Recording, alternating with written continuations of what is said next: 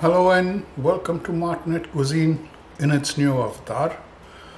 Oh, here we will show you recipes handed, uh, handed down to us over time.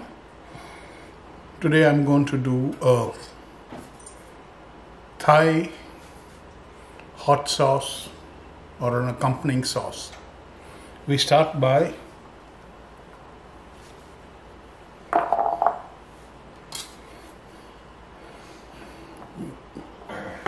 dicing garlic.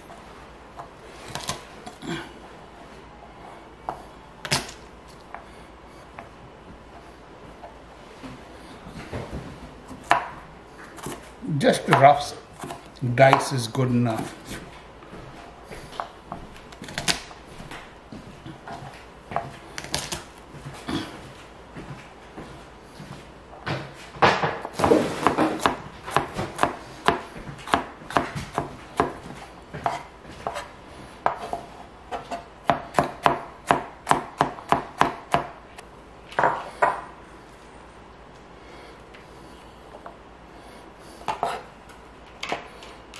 Then slice some bird eye chilies, red and green.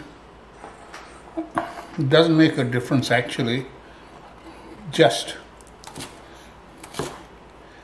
it's more for presentation because anyway this is going to be pungent so it doesn't really matter just mix the two up Hmm. so you can see by the number of chilies that I'm using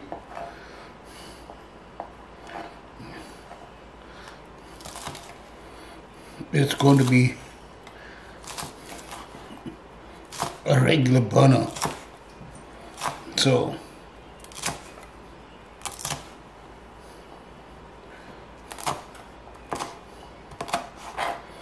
and this is my first attempt with this camera. So you'll have to forgive me if there's anything too badly wrong.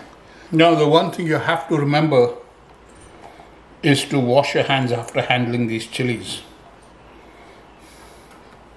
And goodness I know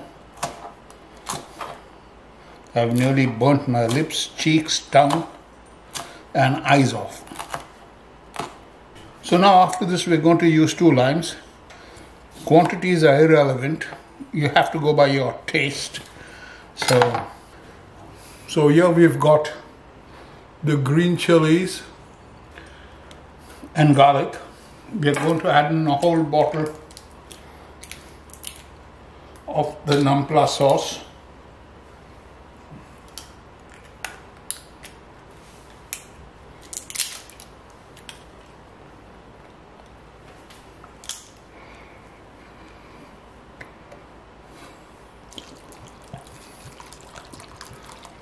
This is a regular fish sauce. Squeeze a couple of lemons into it.